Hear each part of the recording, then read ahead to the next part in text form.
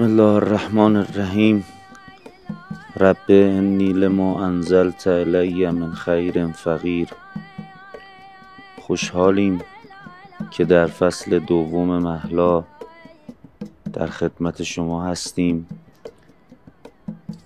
انرژی مثبت و مهر و محبت شما دوستانو به این فکر انداخت که انشاءالله در ایام اربعین در فصل دوم محلا در خدمت شما باشیم. امیدواریم دوباره حال خوبی باشه. من یه ذره ناچیزم بین همه عزیزانی که به سبک و سیاق خودشون دارن نوکری می‌کنن و کنار سفره از سید الشهدا نشستن و متنعمن. به امید گوش نگاهی به امید حال خوبی به امید قطره اشکی. خیلی ها دارن این روزها قدم به قدم نزدیک میشن به حرم آقا سید الشهدا شاید ما جامونده باشیم ولی عرضه میداریم نیست. مجنون مرا اونس به صحرای دگر. تنم اینجاست ولیکن دل من جای دگر. با محلا همراه باشید بسم الله.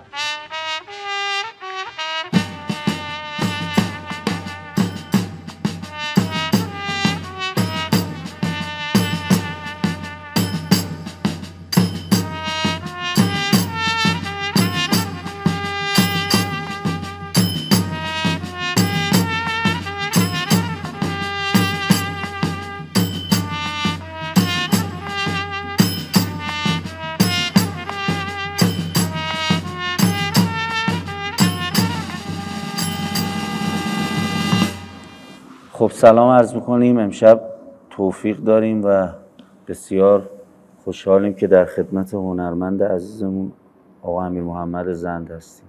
خیلی خوش اومدید. مخلصیم. منم خدمت شما سلام عرض می‌کنم. و همینطور مخاطبین برنامهتون. امیدوارم که گپ و گفت امام حسینی خوبی باشه. زنده باشید. چون شما به خودتون تو اجرا هم کاملا حرفه این من عرض بکنم که من اصلا مجری نیستم. سلامت اینجا هم حالا قسمت بوده از فصل یک محلا که سر سفره امام حسین بودیم و دوستان امام حسینی اومدیم کنار هم نشستیم گپ زدیم. ببخشید حرفه این می‌کنم نفرمایید. اول کار عذرخواهی می‌کنم. قصه آقا محمد و امام حسین از کجا شروع میشه؟ ارزم موضوعتون که قصه امام حسین شروع شدنی نیست. قصه امام حسین هست. از یه جای شما بهش وصل میشه. ما هم خب خدا رو شکر توی خانواده بزرگ شدیم و توی کشوری زندگی کردیم و بزرگ شدیم که خیلی با آدم باید بیمعرفت باشه تا وصل نشه. یعنی حالت عادی باید وصل بشه. و مخصوصا من که در واقع به لحاظ خانوادگی همیشه خدا رفتگان رو بیامرزه پدرم می رحمتش برد. ما رو ما اولی که بچه بودیم احتمالا شما یادت هست که توی عالم بچگی آدم از هیئت ها و تکایا و اینها همین بازی کردن با بچه های همسن سالش رو دوست داشت. خاطره مشترک هممون. شکلی و اینها. غذای نظری بگیره بخوره مثلا بچه 5 6 ساله 6 7 ساله و اما قافل از این که حب حسین تو اون غذاه و تو اون بازیه و تو اون رفقا هست. یعنی با همون قیمه یواش یواش آفرین. کم کم میشنوی. کم کم حس می‌کنی کم کم این سنسورات را میفته وقتی سنت میره بالاتر. و هر چی سن میره بالاتر از اونجا که اساسا انسان عمیقتر میشه هر چی سنش میره بالاتر بیشتر درک می‌کنی. بنابراین قصه ما با امام حسین شروع نمیشه. ما به این قصه اضافه میشه اضافه میشه. اولین امام حسینتون. یادم یه تکیه‌ای بود. حالا خیابونش اینها رو یادم ولی نمی‌خوام اسم ببرم. فکر می‌کنم پنج 6 سالم بود. که تا همین اواخر حتی تا همین قبل کرونا هنوز که هنوزه ما میریم اون هیئت اون تکیه. و ارزم حضورتون که و جالب اینه که اصلا اون محله حال احوال هفت سالگی و پنج سالگی منو داره. یعنی اصلا از اون سمت رد میشم کجا هست؟ خیابون دولت. توی خیابون دولت چهار حسابی. ارزم حضورتون که و در واقع در خونه امام حسین ما اون تکیه است. در واقع. این محمد زند اگه بره عقب خودشون تماشا بکنه امام حسینیه. اون ادعایی که میگه من هیچ وقت ادعا نمی‌کنم. می‌دونی چرا؟ چون خیلی ترسناک. چون خیلی مسئولیت. من من ادعا که دوستشون داری ولی دوستشون دارم فریادم می‌زنم. میگم آقا جون من عاشقتم. هر کی می‌خواد از من خوشش بیاد هر کی می‌خواد از من بدش بیاد. من تو رو دوست دارم. اما اینکه بیام بگم آقا من حسینی ام من امام حسینی ام آقا تو رو به حسین قسم. من هیچ وقت قسم امام حسین نمی‌خورم. مثلا قسم امام ها رو نمی‌خورم. اصلا کار خیلی واقعا جرأت می‌خواد. شما بیا اسم امام حسین رو بیاری قسم امام حسین رو بخوری. بعد می‌تونی دروغ بگی می‌تونی حق و ناس بکنی. چجوری می‌خوای جواب پس بدی؟ یه موقع کسی میگه آقا من نه امام حسین می‌شناسم نه ائمه اطهار می‌شناسم. کلام کلام هم برمیدارم. همه کارم هم می‌کنم. پشت امام حسین قایم شدن. خیلی جسارت می‌خواد خیلی شجاعت. زیاده تو جامعهمون خودت چی فهم کنی خودت چی فهم کنی هر کسی بهتره که به خودش رجوع بکنه. من نمی‌خوام بگم زیاده یعنی من نمی‌خوام قضاوت کنم. ما اصلا در مقام قضاوت نیستم. هر کسی که این گپ و گفته ما رو ببینه ازش خواهش می‌کنم تو این لحظه به خودش رجوع کنه. آقا من جز کدوم دستم؟ پشت امام حسین قایم شدم؟ یا اگر اسم امام حسین رو میارم پای مسئولیتش هم هستم؟ آقا من به عنوان یه بازیگر یه نقشی قبول می‌کنم؟ باید تا پلان آخر واستم. پام بشکنه دستم بشکنه عزیزت دست بدم مریض بشم بمیرم. باید واستم کارم انجام بدم. یه نقش.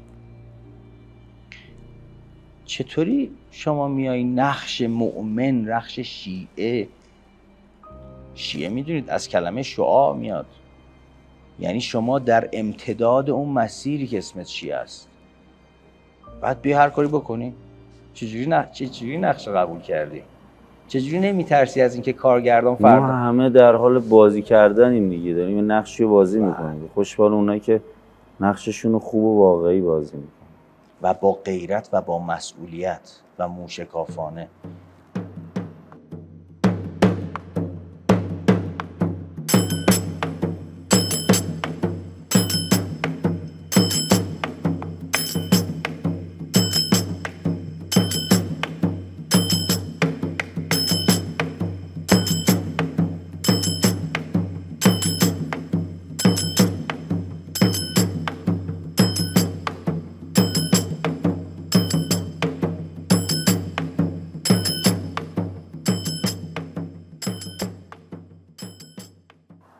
محمد یه شاخصه وجود داره تو شما که خیلی راحت عشق تو فریاد می‌زنی.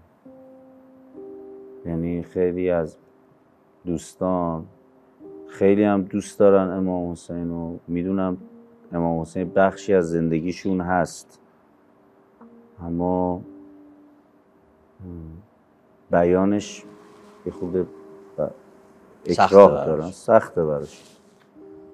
چرا انقدر راحت و عقیدت چیه در این مورد؟ آقا شما وقتی عاشق همسرتی عاشق نامزدتی عاشق مادرتی مگه فریاد نمی‌زنی؟ که راحت داری از اینکه بگی آقا من عاشق مادرمم عاشق همسرمم عاشق فرزندمم اگر عشق عشق باشه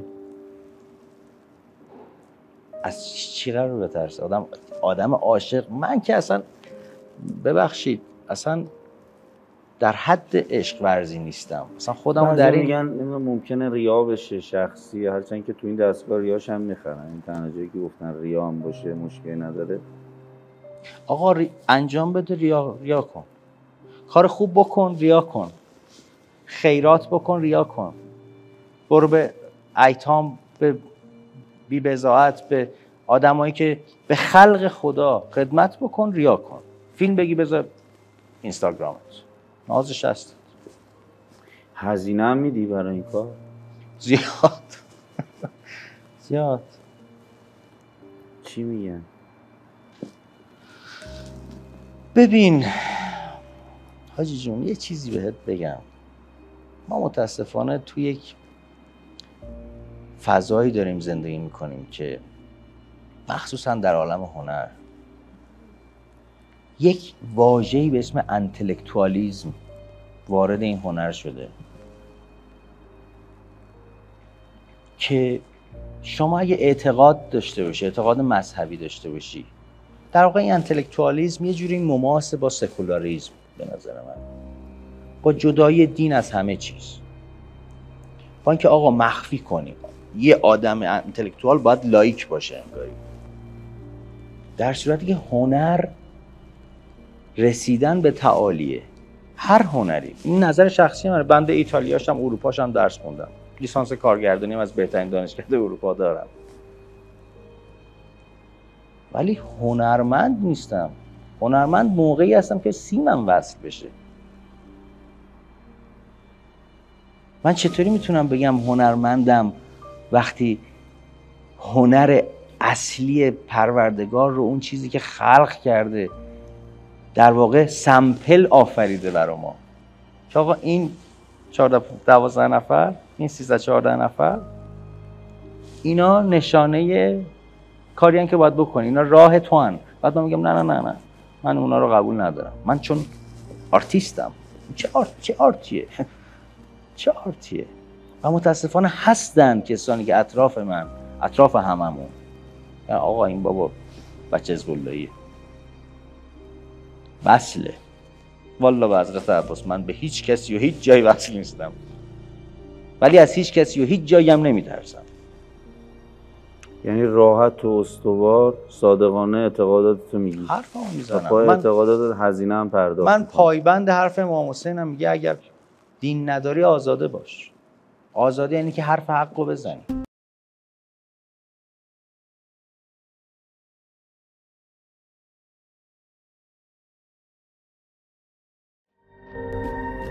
سعی می‌کنم نقش خودم رو پیدا کنم و درست بازی کنم. فارغ از این که تشویقم کنم. امروز تو این جامعه فکر می‌کنی نقش درست چیه؟ نقش درست اینه که حق و ناس نکنی. دروغ نگی. دروغ نگی. آقا قولی نمی‌تونی نده اون قولو. کاری نمی‌تونی انجام بدی نگو انجام میدم. کمترینشو دارم میگم و اون کف کفشو دارم میگم. زیر پای رفیقتو خالی نکن. برای بالا رفتن که دیگر نکش پایین.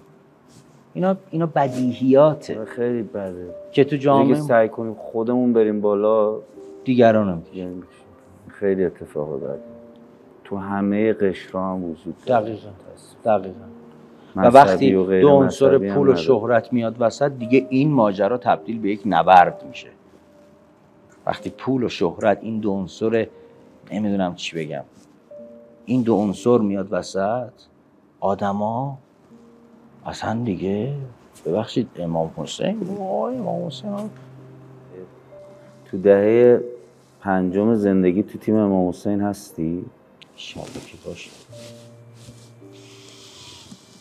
خیلی سخت شده. تو این دور زمانه خیلی سخت شده امام حسینی. برای اینکه امام حسینی باشید چیکار می‌کنه؟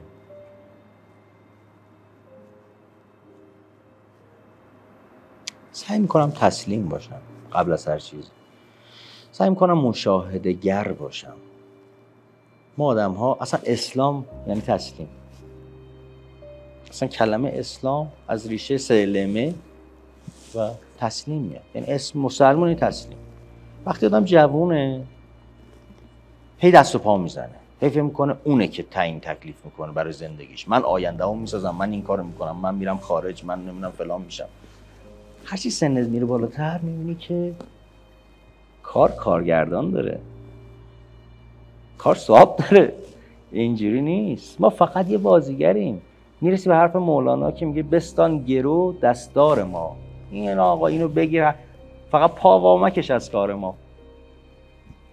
در دل بمانده پای دل جان میدم چه جای دل. و از آتش سودای دل ای وای دل این الان تو سن 43 سالگی میگم آقا این دستار من دست شما یا حضرت حق. ببر. کارگردان شمایی. چیزی گذاشتی سر رام؟ درسته. برداشتی از سر رام؟ درسته. اما معلومه انسان اجتماعی کاملا. الان به نظرت احتیاج جامعه ما چیه؟ صداقت. صداقت در تمام زمینه ها صداقت در تمام اشخاص. صداقت در تمام رده ها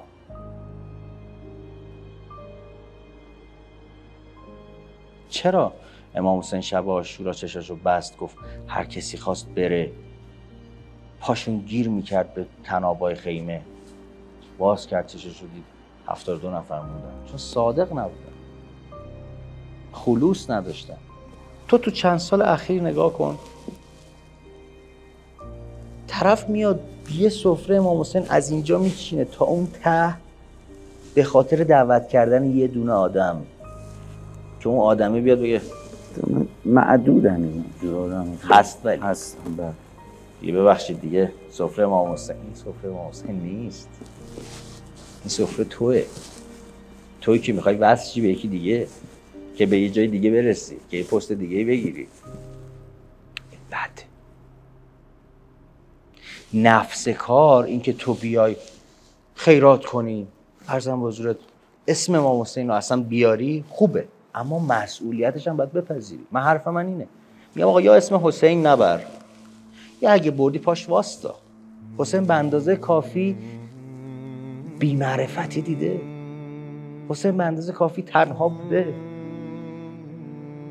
حسین به اندازه کافی از هزار نفرش هفتاد دو نفر بیشتر برش نموندن.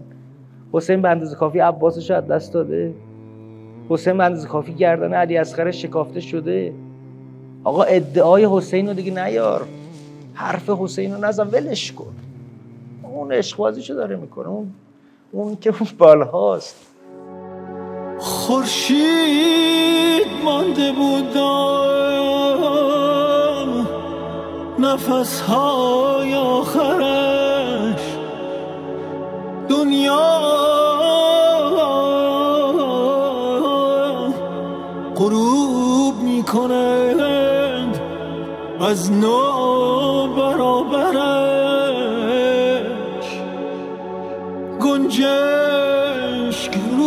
شاخه تقویم میپرند یک مرد بیقرار دو باغ کبوترش. ای حسین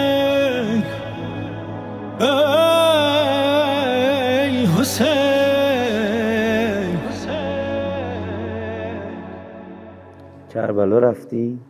یه بار مشرف شد برامون از کربلا میگی؟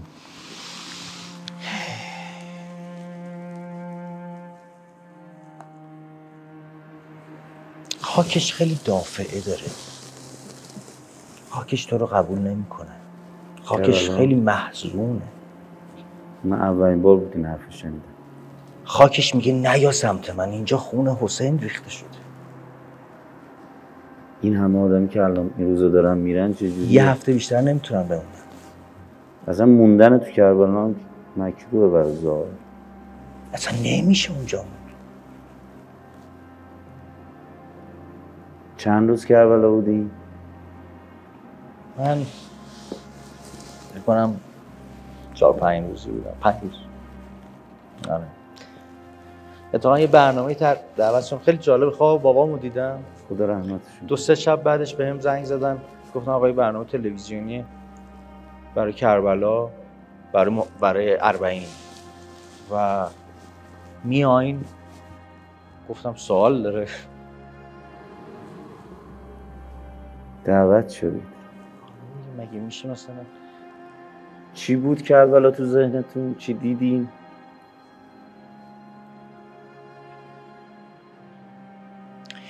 واقعا 1400 و اندی سال گذشته از اون حادثه اون اتفاق. شما وقتی میرید این حالا ما سینمایی شرک سینمایی دف... دفاع مقدس داریم می‌دونم شرک سینمایی غزالی داریم. شما وقتی میری شرک سینمایی غزالی از این خیابون رد میشی یاد هزار دستان میفتی یاد مرد شیش انگشتی میفتی اون فضا و اون اتمسفر و اون بازیگرا و اون قصه هنوز انگار اونجا هام دارن. حالا فکر کن وقتی میری کربلا چه اتفاقی. قصه ای کربلا رو می‌دیدم. یعنی وقتی رفتم بین الحرمین گفتم اینجا بوده ها. اینجا بوده. اسبا اینجا میتاختن. تل زینبیه اونجا بوده. گودال اینجا بوده. و اونجاست که میگم نمی‌تونی تحمل کنی. من وقتی رفتم مشرف شدم حرم امام حسین طبقه پایین که در واقع جایی که سر متحرشون رو جدا کردن از بدنشون نمی‌تونستم به اون به اونجا نگاه کنم. یعنی وقتی نگاه می‌کردم و و, تف... و تصور می‌کردم حالا چون هر حال به عنوان یه بازیگرم قدرت تصورم زیاد نگاه می‌کردم و می‌گفتم اینجا سر حسین رو بریدن. اینجا چجوری من می‌تونم اینجا واستم؟ چجوری می‌تونم واستم و هیچی نگم؟ چجوری می‌تونم واستم و از اینجا برم و همون آدم قبل باشم؟ اهل گریه ای فقط تو این مقوله امام حسین یا نه کلا؟ فقط برای امام حسین گریه. اینو بابام بهم داد خدا رحمتش گفت من امیر پدر محمد. خیلی امام حسینی بوده درسته؟ گفت امیر محمد بله خدا رو شکر. گفت امیر محمد یک چیز تو دنیا ارزش گریه کردن داره اونم غم حسینه. و سلام شما هر غمی رو بذاری کنار غم امام حسین می‌بینی هیچی نیست. بچه تو از دست دادی؟ برادر از دست دادی؟ مادر از دست دادی؟ یکی از آشناهای ما چند وقت پیش پسرش خدا رحمتش کنه جوان مرد شد. خیلی هم ادامه امام حسینیه ما رفتیم مسجد و اینها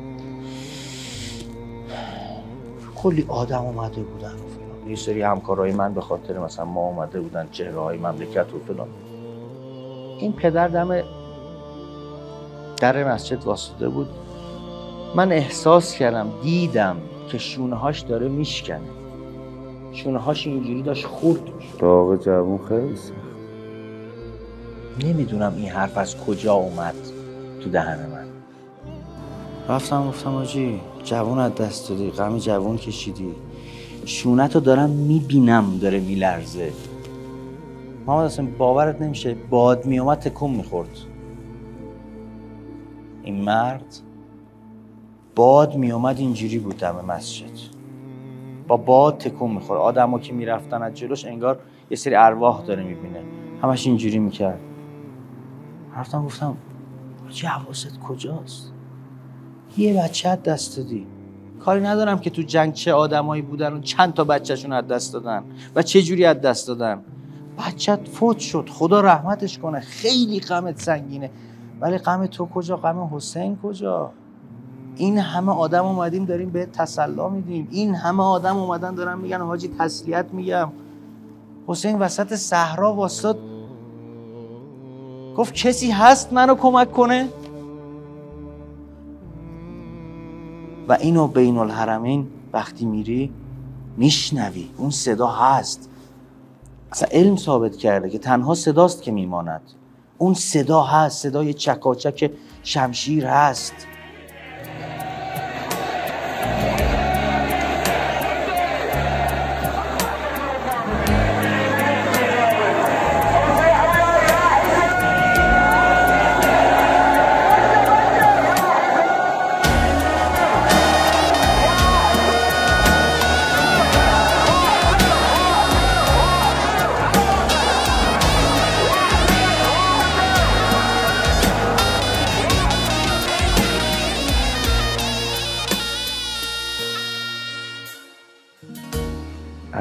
خیلی به پدرت یعنی می‌پردازی.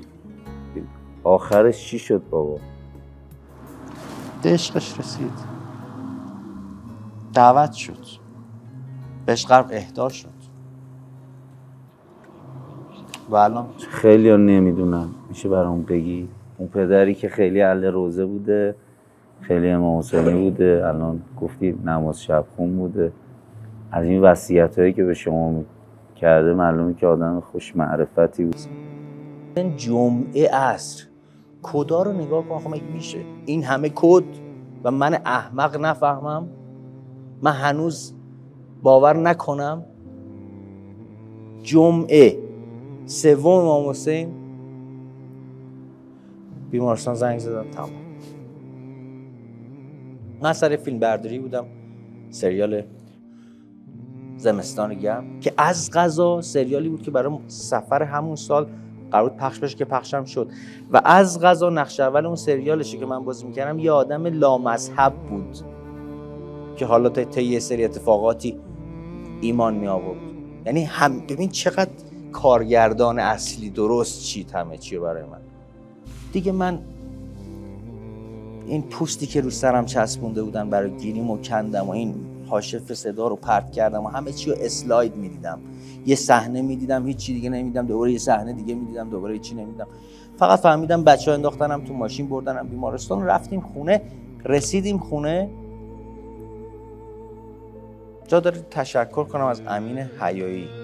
دوست عزیزم اولین نفر با روزبه معینی. اومدن خونه ما. این ما رسیدیم خونه امین روزبه اومدن. و چون به حال مادرم برادرم و اینها یه رو در داشتن باشون مجبور شدن خودشون رو کنترل کنن. بهش همیشه میگم میگم امین تو حضورت به عنوان رفیق من توی زندگی من لحظه ای تو اون پلانی که مادر من عین اسفند روی آتیش بود بزرگترین کمک رو کرد. چون ما مجبور شدیم خودمون رو به خاطر تو هم که شده حفظ کنیم آروم باشیم. تو همین اسنا تلفن زنگ خورد. من برداشتم. دیدم یه آقای گفت سلام علیکم. آقای مهندس شاد فلانه. دیدی عزیزت دست میدی؟ اوایل شرکی میگه خدا بیامرزه. میگی اه با منه؟ داره بابای منو میگه داره برادر منو میگه داره خواهر منو میگه. بعد چطوری حسین سر عباسشو میگه تو بغلش؟ چجوری می‌تونه؟ چجوری تونسته؟ آقا یه قصه ای بوده 1400 500 سال پیش. بابا ول کن. شما یه قصه ای به من بگو که 1400 500 سال ماندگار باشه. 11 سپتامبر. چقدر خوب میگی. چقدر حق میگی. درست میگی. آقا میگی. اصلا تو درست میگی. 1400 500 یه قصه به من بگو ده سال دووم بیاره. بزرگترین کارگردان های سینما هر روزم برات تکرار کنم هر روز بیشتر. شه آره، تو هر. سال اربعین رو نگاه کن. آدمایی که می‌دونن بیشتره. چجوریه این عشق؟ همه چقدر آدم زیر این آسمون دارن قدم برمیدارن طرف حرمش. آقا تلفن یه آقایی بود به اسم حاج غنی. خدا حفظت کنه حاج غنی. گفت روی آقای مهندس شد آقا اسم من حاج غنیه. راجب آقای مهندس می‌خوام صحبت کنم. گفتم والا حاجی من ببخشید همه کارهای بابا رو تنفیذ اختیار کردم به برادر بزرگم. کفن و دفن و بیمارستان و چه و چه و اینا. لطفا با برادرم هم مهندس داشته گفتم با برادرم لطفا سوال گفت شما فرزند دومشونین گفتم بله. گفت اتفاقا باید با شما صحبت کنم. جلل حالا فکر کن یه ساعت نیست. این اتفاق افتاد داغی اصلا گیجی. گفتم آقا چیکار داری با من گفت آقا پدر شما یه در واقع ما تو سینما میگیم فلش بک یه فلش بک کوچیک بزنم. روزای آخر که تو کما بود بیمارستان در واقع در واقع دکترها جواب کرده بودن. اینها من اومده بودم و وصیت پدرم خونده بودم. دیدم نوشته که از فرزندانم خواهش می‌کنم منو در کربلای معلا پیش سید الشهدا دفن کنن. در غیر این صورت کرمان پیش پدرم دفن کنن. هر زمان امکانش به وجود آمد منو انتقال بدن کربلا. یعنی باز یعنی گفته استخونام هم شده وردارید ببرید. استخونام هم شده 20 سال بعدم شده. این کارو بکنید در برای من. و من خب این می‌دونستیم دیگه. همه وصیت رو خونده بودیم می‌دونستیم چی. گفت پدر شما وصیت کرده کربلا دفن شده درسته؟ که همون موقع که این وصیت خوندم گفتم آخه با خودم گفتم آخه بابا جون این چه وصیتیه؟ من کربلا مگه میشه برد کربلا کسی و مشهد نمیشه برد. چجوری من ببرمت کربلا؟ پدر من آخه این چه وصیتیه؟ ولی اون ایمان داشته به عشقش و ایمان داشته به حسینش و می‌دونسته عاشق حسین باشی حسین میبرتت. حسین که ولت نمی‌کنه. چی شد اون وقت تلفونه گفتم بله همچین وصیتی شده و اینها. چطور؟ گفت آقا من وکیل تامل اختیار یکی از رفقای پدرتون هستم که نمی‌خوان شما بشناسینشون. هنوزم نمی‌دونیم کیانشون. آقا خیلی مخلصتم. هر جا هستی خدا حفظت کنه منم اصرار نمی‌کنم بشناسمت. امام حسین میشناستت کافیه. بابام میشناختت کافیه. شما به عنوان در واقع الان کسایی که در واقع ولی این خدا بیامرز بودین اجازه میدیم به لحاظ حالا شرعی و قانونی که ما این کار رو بکنیم؟ من بیام و پدر شما رو ایشون به پدر شما و آقایی که نمی‌خوایم شما ب... نمی‌خواد شما بشناسینش به پدر شما قبر اهدا کرد. آیا شما اجازه میدین ما بابا رو ببریم؟ من گوشی تو دستم خوش شد. مامانم گفت کی امیر محمد؟ گفتم مامان امام حسین بابا رو دعوت کرده. این آقا حاج غنی وکیله. میگه از دوستای بابا بهش قبل اهدا کردن وادی و سلام توی هفت می‌دونی که هفت فرسخ کنار حرم مطهر امام حسین تربت محسوب میشه. توی هفت فرسخی یه قبر داشته این آقا و این قبر رو اهدا کرده به بابای ما. مامان اجازه میدی؟ ما بابا رو بفرستیم کربلا؟ همه به هم نگاه کردیم گفتیم ما باید اجازه بدیم مثلا چی کاره ایم اجازه بدیم. مثلا ما چی کاره ایم که اجازه بدیم؟ گفتم حاجی فقط هر جوری خودت می‌دونی دیگه. فرداش اومد جسد رو بردن چون مراسم بردن یه شخصی به کربلا یه میتی به کربلا مراحل پیچیده ای داره. از سفارت عراق میان جسد و مهرموم می‌کنن مدارک پزشکی رو نگاه می‌کنن چه و چه باشه ده روز دو هفته طول می‌کشه. یه روزی دو سه روز گذشت دو روز گذشت حاج غنی به من زنگ زد. حالا منم همچنان سر فیلم برداری فقط روز بهزرا رفتیم. در واقع جسد و پیکر پدرم رو تطهیر کردیم و گذاشتیم سردخونه که مراحل قانونیش انجام شد. منم سر فیلم برداری حاج غنی دیدم حاج غنی رو موبایلم. برداشتم گفتم جونم آجی دیدم داره زار می‌زنه. گفتم چه تاجی چی شده؟ نمیشه؟ نشد؟ بابا رو نمی‌تونی ببری؟ گفت من کیم که بابا تو ببرم؟ گفت گفتم می بابای من می‌شناسی آجی؟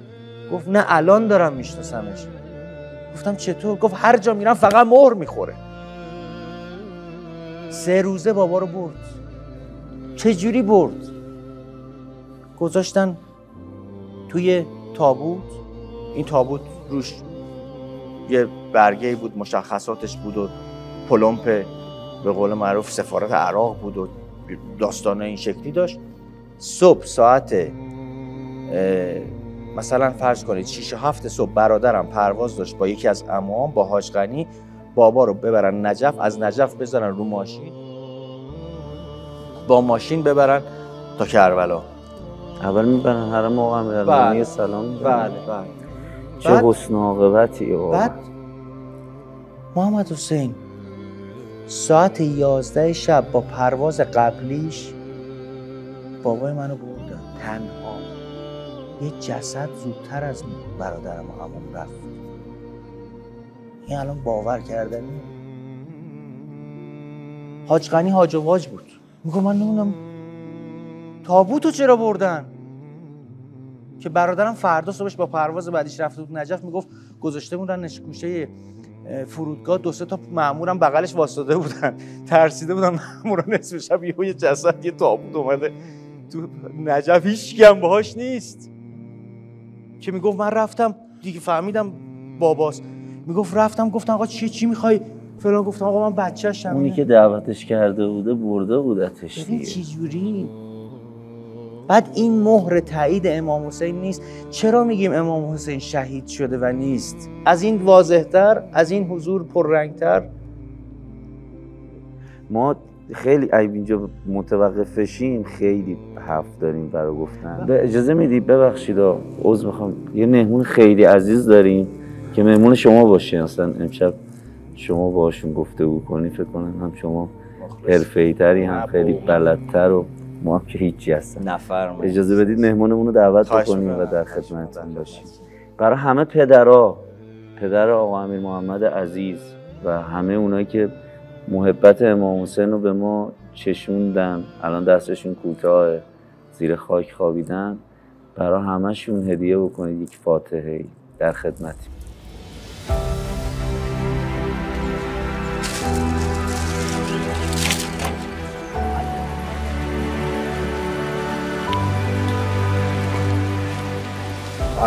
چند آقوزکی ها من کورده میگن آقوزکیم ششتا دیگه الله اکبر اوه عقیده کردیم که با پای پیاده اربعین بریم با بوسی پیش امام حسین و قصدم چند منم بشیم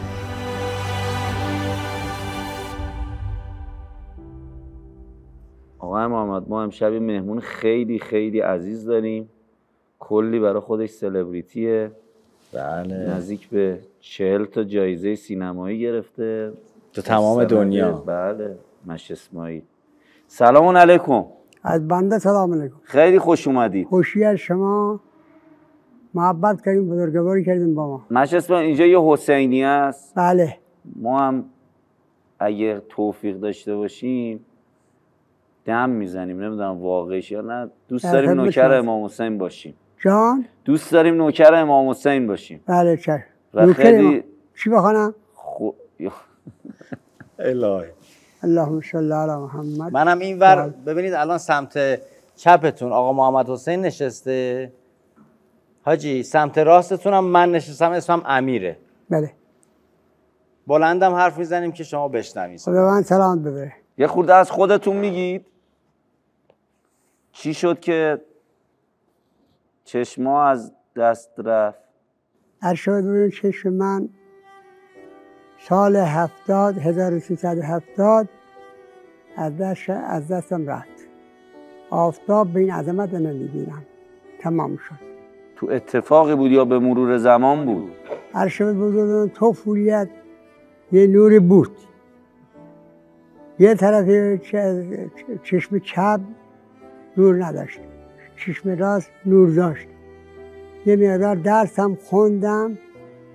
یواش یواش به وسیله کتاب و سوزه کتاب و درس نورش کم شد کم شد کم شد تا سال هفتاد.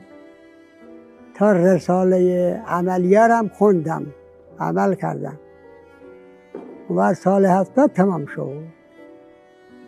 هفتاد هفتاد یک تمام شد.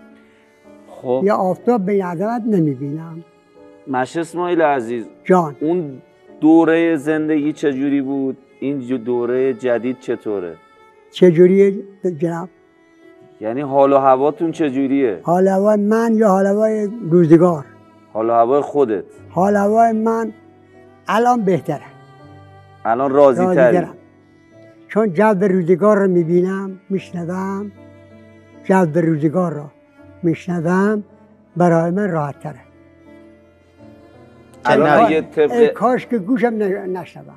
ای بابا. نه. الان اگه علم پزشکی اجازه بده و جراحی بکنی خواهش می‌کنم. این خواهش نکن. نه. یعنی دوست ندارید. ببینید چشاتون همینجوری راحت ترم درد که نمیاد. ندارم. چرا درد که ندارم. فقط نمی‌بینم راحت ترم چرا؟ زندگیم که راحت می‌کنم. مطابق بعد خودم خب چرا؟ هیچی کم ندارم. یعنی نمی‌تونم که از نظر زندگی چشم کم داشته باشم ندارم. آقا محمد حسین منظورشون اینه که چرا دوست ندارید ببینید؟ ناملایمت روزگار آها. ناملایمت روزگار خب قشنگی هم داره روزگار. جان؟ همش که سختی نه. نیستش که. همون قشنگی با فکر من با فکر من قشنگی تا اون ناخوشی ناخوشی میچربد میچربد. الان می‌کرد. مش اسماعیل قشنگی تو ذهن شما چیه؟ قشنگی من این است که خدا پیغمبر ائمه اطهار همه علم باشن. همیشه علم باشن. ولی بعد موقع نه. روی نتم رنگ می‌برم. الان مش اسماعیل روزی دو ساعت دو ساعت و نیم از خونه پیاده میرید سمت محل کارت. آره. اذیت نمیشی؟ اصلا. 24 ساعت هم اگه دور بزنم اذیت نمیشم. از چجوری نظر- راهو پیدا از می‌کنی؟ نظر چشم نه. راهو چجوری پیدا می‌کنی؟ راه. قلب. اکبر. چند سالتونه مش اسماعیل سال 1326 26 هفت داخل 75 هم. 26 داخل آها یعنی از 26 تا داخل 75 هم. آه یعنی 75 سالتونه. چهار پر کردم آها. 75 هم. ایشالله 120 سال. صحیح و سلامت. بابا. خدا پدر تو رو بیامرزه. تا آقا محمد حسین از درخت گردو میرن بالا. من تو فیلمشون دیدم. همه ایران دیدن اون اصلا مستند خیلی عجیبه ها. یعنی واقعا هم باورش نمیشه. مشت اصلا مش می‌تونه؟ مش اسماعیل این مش اسماعیل. درخت گردو رو چجوری بالا میری هر چه بزرگ پر کردن نیکو کردن رفتم و با حالای درخت بلند بلندتر و بزرگترم می‌رفتم از بس تمرین و کار کرد. من بود. عزیزم از طفولیت کار من بود کشاورزی اینا بعض موقع ها چیزهایی اسباب اذیت من بود این اسباب اذیت من بود رفت که می‌کردم اینا عادت کردن به بشاش رفتم مش اسماعیل جان. با امام حسین کجا رفیق شدی؟ با امام حسین از اول طفولیت لا اله الا الله. و اشهد ان محمد رسول الله. فرزندش حضرت امام حسین امام حسن تا آخرش امام زمان. خب چجوری بود دوران طفولیت؟ شما امام حسین محله حسینیه؟ چون جان, چی گفت؟ میگم چجوری بود دوران طفولیتتون؟ محله روزه تکیه عزاداری؟ عزاداری ما اگر بهت بگم یک ماه باید پیش من باشی. من خدمت تا از اعضای کیاسر عزاداری به شما صحبت کنم. و خود حالا تو چند دقیقه برامون بگو. چند دقیقه بگم؟ ارشد ما در هفته شیش هفته روزه داریم. شیش روز. شیش شب. شیش شب. آره. یعنی همه هفته دیگه. کجا روزه دارین؟ هر کسی به اندازه خودش وقف کرد زمین رو. قبلا. این وقفی مونده خونه و لوازم مجالس وقف کرده برای این روزه. مثلا شنبه. دو جا روزه داریم. این صاحب میله است. جدش وقف کرده. آقایون فرمودن که طول دراز نکن ولی طول دراز دار میشه. توجه کردی نه. نه راحت باش بگو. ها؟ استفاده می‌کنیم بفرمایید استفاده کنی خچش خود شنبه جد این وارثینی که الان دارن خرج می‌کنن وقف کرده تا اون جامی که آب می‌خورن. اونو وقف کرد. نه توی کجاست؟ اسم محلتون شهرتون روستاتون چی بود؟ محل ما کیاسره. کیاسر. جزو آستان مازندرانه. بله بله. اون وقت خود کیاسر مغز کیاسر ما بودیم درست. آره. این وقفی مال کیاسره این چند تا گفتم 16 تا وقفی داریم در هفتگی. در هفتگی 16 تا وقفی 16 شب یعنی هر بعضی جاها دو شب بعض جا سه شب. من مدد خواهم یه بعض جا یک جا بعض جا سه شا. سه جا مدال استرن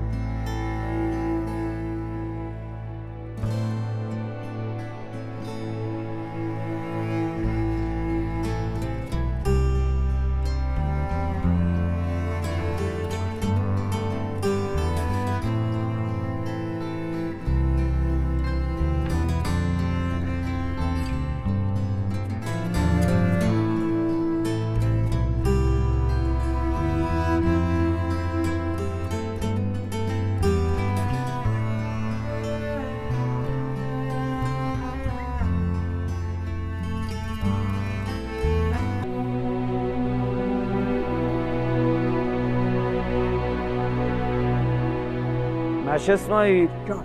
چی تو امام حسین دیدی؟ هر چی یاد گرفتم از حسین دارم.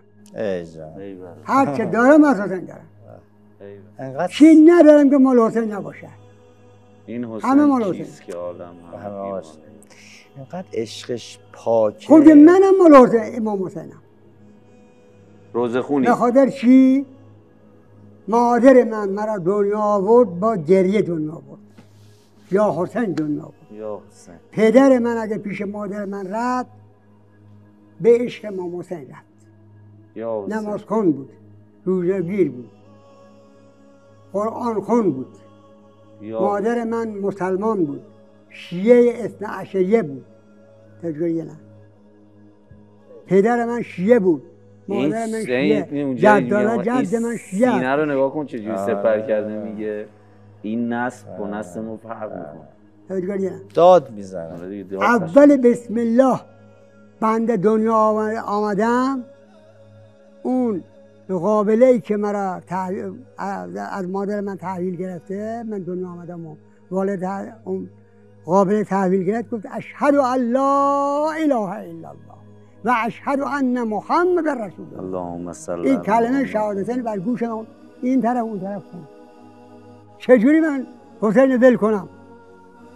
کربلا رفتی؟ بله. مستندش رو دیدیم. ممنون.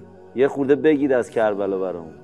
چی بگم که در با رفتی چی ببینی؟ شما که به ظاهر یعنی به عقل ناقص ما نمی‌بینی. از قلب دیده چی دیدی؟ خب برامون بگو. خوبی هاش دیدم. مقامش دیدم. خسته نشدی پیاده روی. تو این راه؟ اصلا بابا. دو مرتبه رفتم. چند روز تو راه بودین سیرم نبودم. سیرم, سیرم. نشدم. سیرم سیر نشد. دو مرتبه رفتم سیرم نشدم. ایشالله بازم بری. یه مرتبه از مال مردم رفتم. دو تا آیون خدمت عرض کردم. دو نفر بعد علم کردن پول به من دادن. منظورش اینه بانی داشته که یک مثلا رفتم. ای جان. چجوری؟ دیگه چطور این که- کردن؟ جان. چرا این کارو کردن؟ چرا که طولانی میشه. معذرت می‌خوام. نه بگید. خب. دل شما می‌خواد. یک روزی من پیش رفیقم نشسته بودم. یه هیئت ده نفره ده خانواره ده خانواره که به اصطلاح یه خانم یه آقا یه خانواده. اینجوری ده نفر بلند شده می‌خواستم برای کربلا. بین کیاسر ما معروفه که هر که کربلا میرن چاوشی می‌کنن چیکار می‌کنن؟ چاوشی می‌خونه نمی‌دونی؟ رفتن کربلا داشتن می‌رفتن. من پیش رفیق نشسته بودم. رفیق رفت برای بدرقه. من ناراحت شدم. که چرا منو نمی‌بری چرا من نرفتم؟ بدرقه بدرقه می‌خواد برم. رفیق گفت که تو بشین اینجا. چشم. من نشستم و این رفیق رفت و بدرقه کردن این آقایون رفتن. من ناراحت شدم خدا یا پروردگارا میشه یک موقع قسمت من بشه؟ همین ساعت سا حرف من سخن ساعت افتاد. دو نفر غریبه آمدن این مغازه این آقا نشستن. گفتن آقا بله. شما چرا گریه می‌کنید؟ اول پنهان کردم. اصرار کردن گفتم. گفتم چون این آقایان رفتن دل من افتاد به کربلا. ایشان گفتن که می‌خواد بری کربلا. خود من الان که کسی نمیره که من نمی‌تونم برم. خودم تنهایی نمی‌تونم. آقایان گفتن که ما پول میدیم. هر موقع موقع شما شد بری کربلا. بخش شد بری بعد من نخیر گفتم نمی‌تونم خب چرا؟ من الان پول بگیرم اینجا از دست شما داشته باشم. بعد رفتم اونجا یه چند, چند, چند رفتم زمین خوردم سر من شکست و فورا مردم. پول بچه ها می‌خورن و من. کربلا نمیرم. این هم- دل من آرزو میمانه همون آقا به هدف نمی‌رسه. پس صلاح داره که پول نمی‌خوام. کربلا نمی اگر قسمت من شد میرم اگر نمی‌شد نشد نمیرم یا شان ایشان پول این چند تومنی که 500 تومن پول بود. دادم به رفیق من گفتم به داشته باش هر موقع رفیقای دیگر حرکت کردن شما کی بودن اونا؟ جان؟ کی بودن اونا؟ آره. نه، جان؟ کی بودن اونا؟ غریبه بودن. نمیشناختینش. سیاستی نبود نه. سیاستی نبودن بعد این پول بهش پیش این آ- رفیق من بونده یک سال نه ماه نه ماه بونده یه موقع دیدم که چهار نفر حرکت کردن مورد نظر من بود. عوض اینکه من خودم برم خانم خودم گرفتم رفتم. دیدم ایشان با خانم بچه ها هستن خانم خودم گرفتم و با بودجه خانم خودم. و این بودجه رو گرفتم رفتم کربلا آمدم این یک مرحله دوم که جناب آقای دهنپور لطف کرد. مرا برای مستند برد این دو مرحله. مش اسماعیل جان. رسیدی حرم امام حسین. چی گفتی به آقا؟ گفتم السلام علیک یا ابا عبدالله الحسین. روحی و ارواح العالمین جل روح روحی و فدال یا ابا عبدالله الحسین. روحی و جانم فداد یا ابا عبدالله الحسین. چی ازش خواستی؟ خواستم فقط عاقبت بخیری خواستم و عاقبت بخیری آخرت. دنیا پر دنبال نکردم. خدایا مش اسماعیل. جان. امام حسین رو ببینی بهش چی میگی؟ در آخر شفاعت من بکنه شفاعت من بکنه که این مدای من بود و این روز خون من بود و همین. پس روزه خونی شما. مطابق وعد خودم. کدوم روزه رو دوست داری؟ هر کدام دوست داری. نه خب خودت که می‌خوای حالت خوب بشه کدوم روزه رو می‌خونی؟ الان همین ورود اهل بیت در زمین شام. شام. ورود شام. بخوانم بخون بخون. چه روزه سختی مش اسماعیل. بسم الله الرحمن الرحیم. یا رحمان و یا رحیم یا ابا عبدالله علیه السلام و علیه السلام. شد داخل شام اولاد حیدر گویا به پا شد. غوغای محشر به چه حالت؟ سرها به پیش زینب ز دنبال راس منیرش اندهر مقابل زنهای شامی یک سر تمامی کفها خذاب و لبخند یک سر گفتا سکینه بر ما مخندی. داریم عزای بابا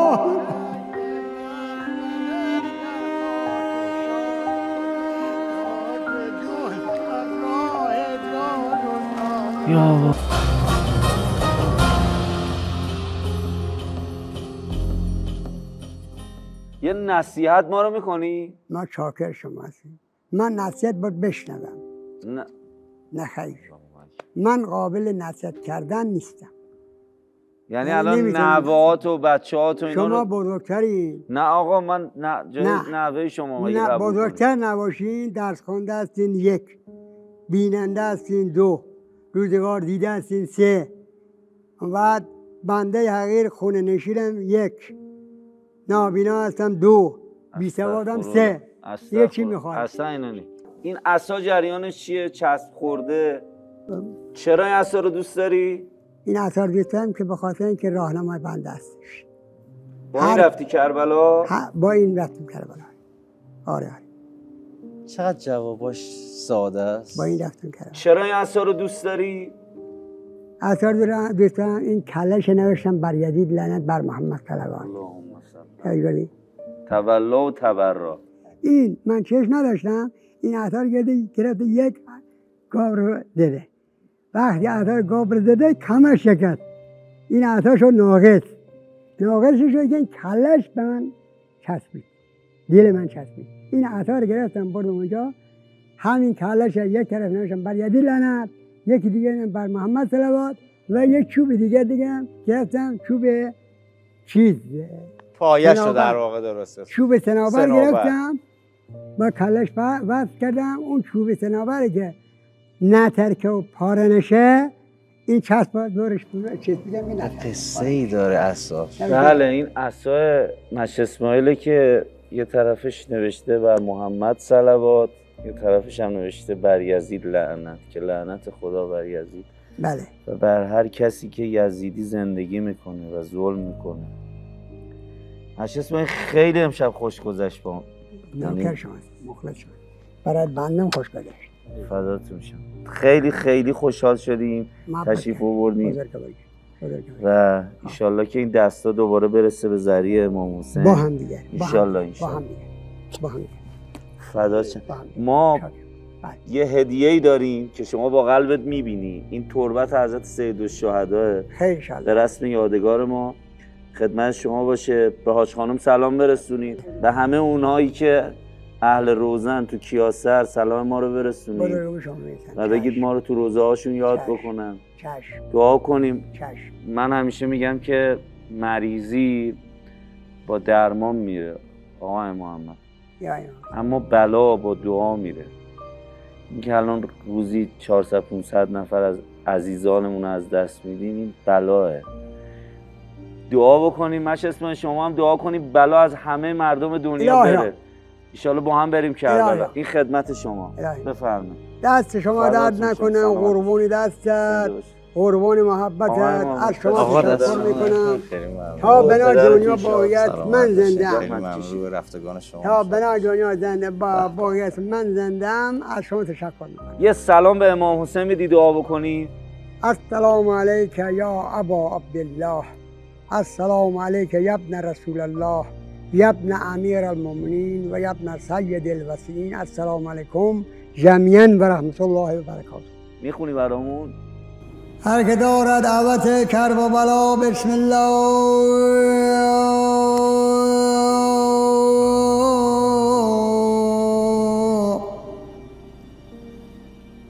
هم نجف و هم کربلا هم مشهد شاه رضا بسم الله.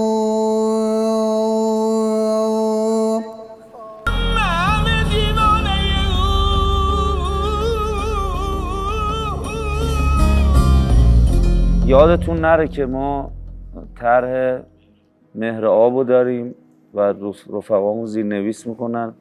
دست به دست هم دیگه انشالله بتونیم.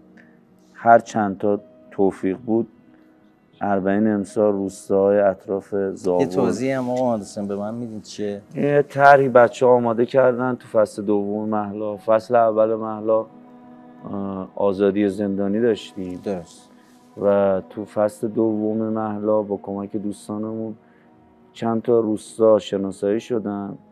خیلی کار سختی نیست فقط همت می‌خواد. براشون آبرسانی بکن به کنار این سفره محلا این خیمه محلا ایشالا یک گرهی بتونیم از کار خدا عزیزانمون باز کنیم. خیلی محبت کردیم مخلصین. خیلی خیلی استفاده هم خیلی لذت آقا محمد حسین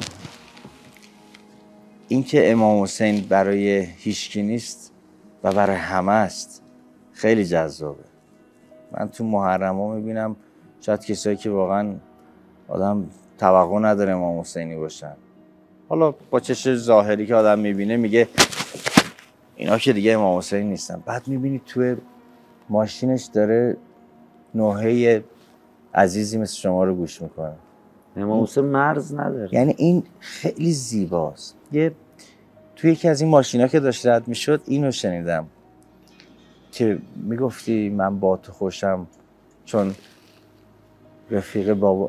چی بود مینو می‌خونی برای ما با تو خوشم با تو که دنیای منی با تو که قبل از متولد شدنم.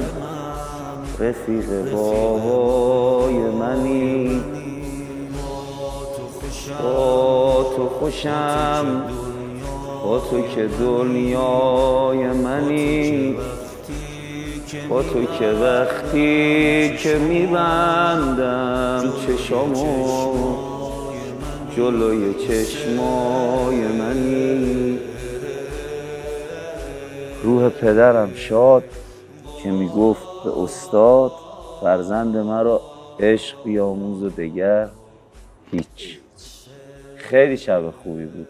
خیلی استفاده کردم. خیلی ممنون از مطمئنم نگاه پدر شما هم بوده کنار سفره حسین.